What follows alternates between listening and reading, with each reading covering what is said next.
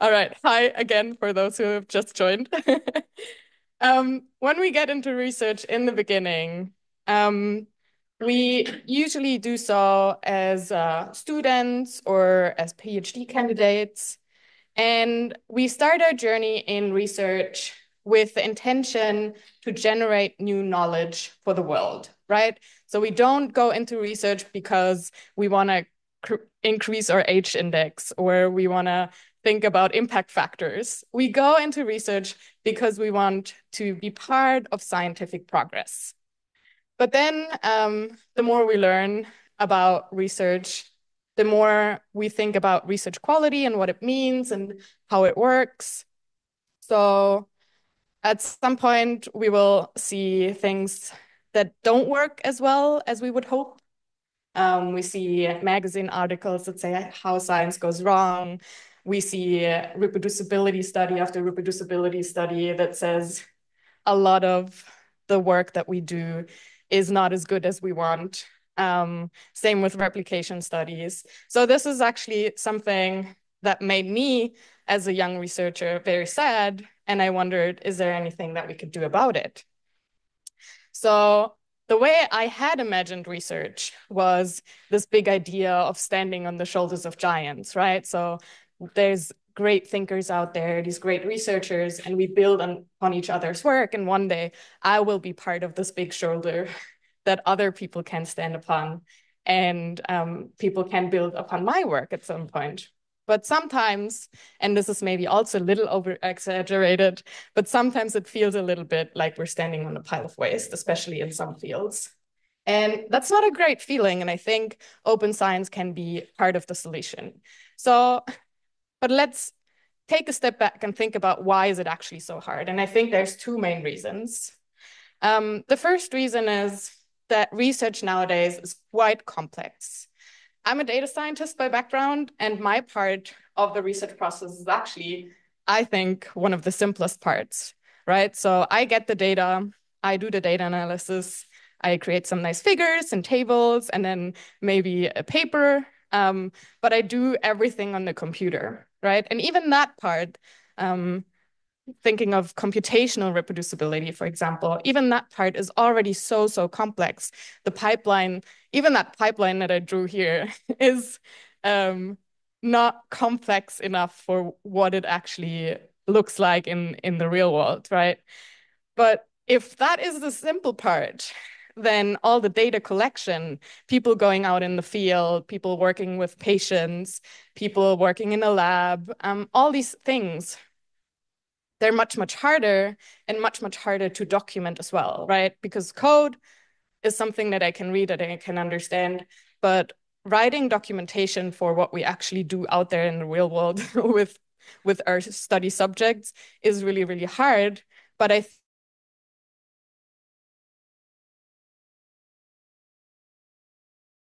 doing the hard work of work of documenting things and understanding the research process of others um, beyond the paper.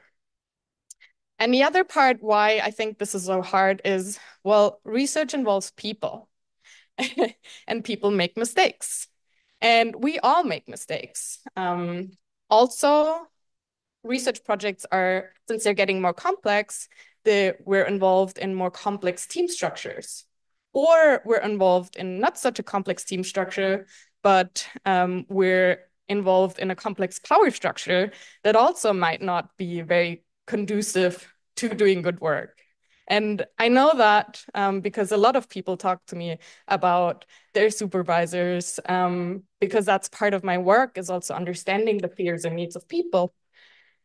And a lot of times it's just really not good.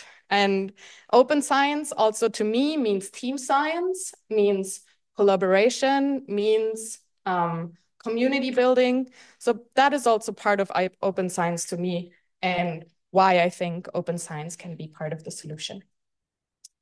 Now, um, I said open science helps with uh, rigor, but I also think open science can help with equity. And I want to talk a little bit about that as well. and um, I'm picking up a lot of these words that were listed actually in the previous year's um, titles, so I like that. So here's the ivory tower word.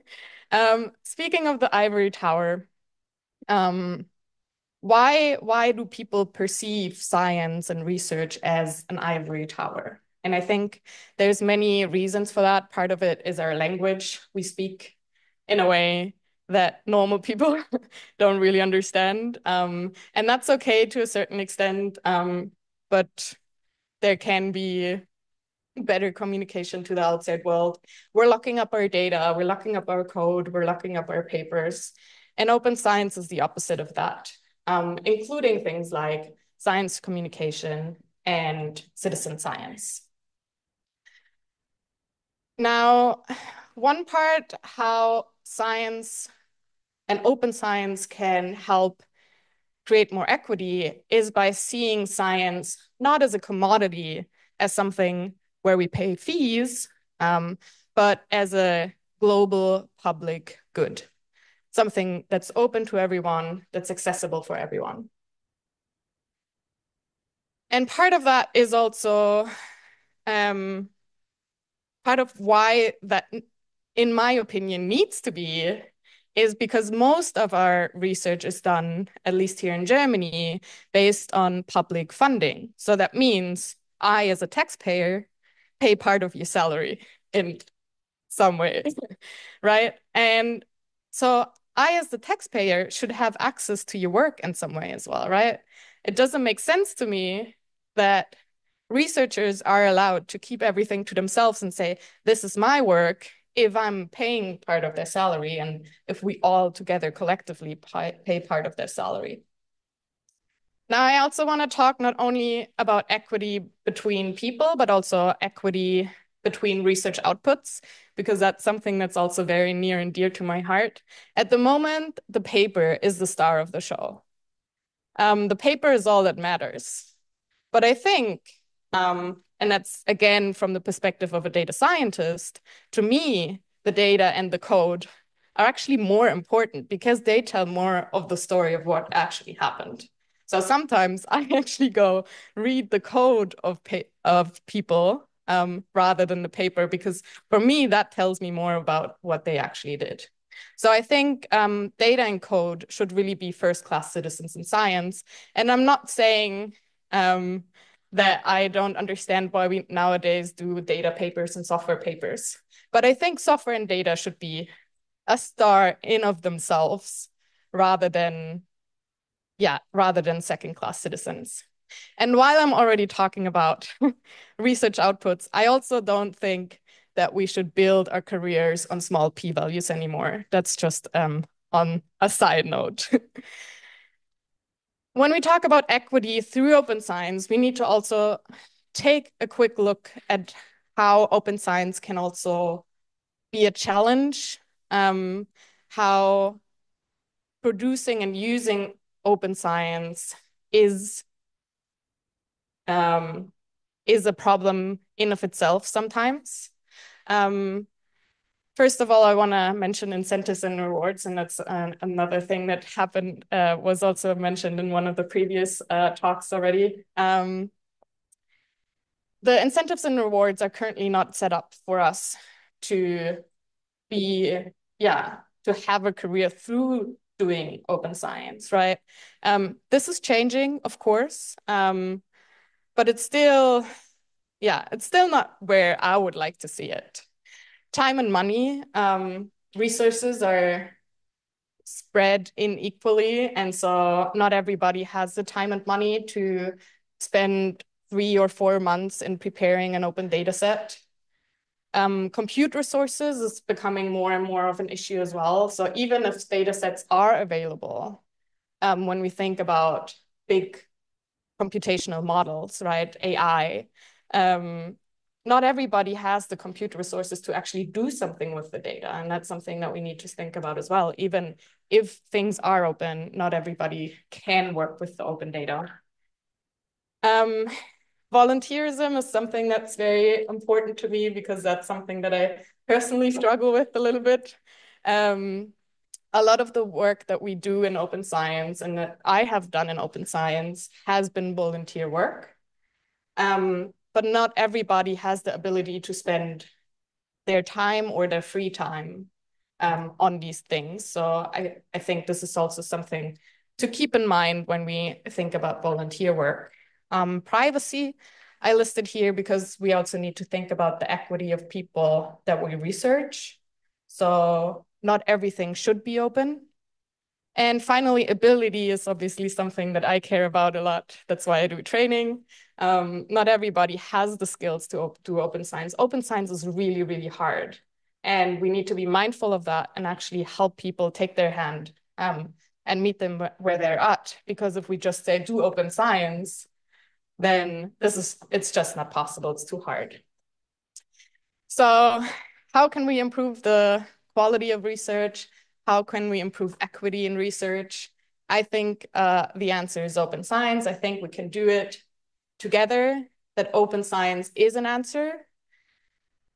Um, even if sometimes it can create inequities by itself as well.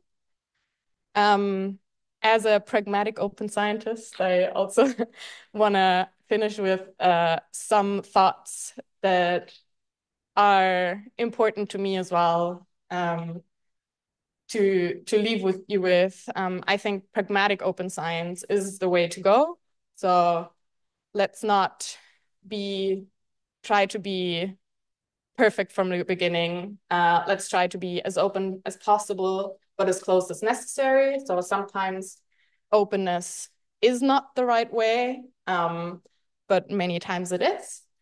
So as open as possible, as close as necessary is one of the things that I always try to follow.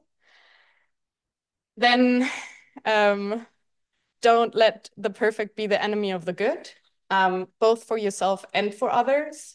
So try to build a community that's understanding that not everybody is as open as you, um, maybe, or as rigorous as you yet, um, but help them get there.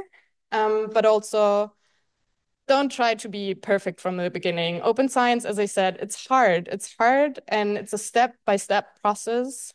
And that leads me to my last point that I want to make is make every project better than the last. Um, this way, you'll get better and better over time. That's how I did it. And that's how, in the end, open science became my career.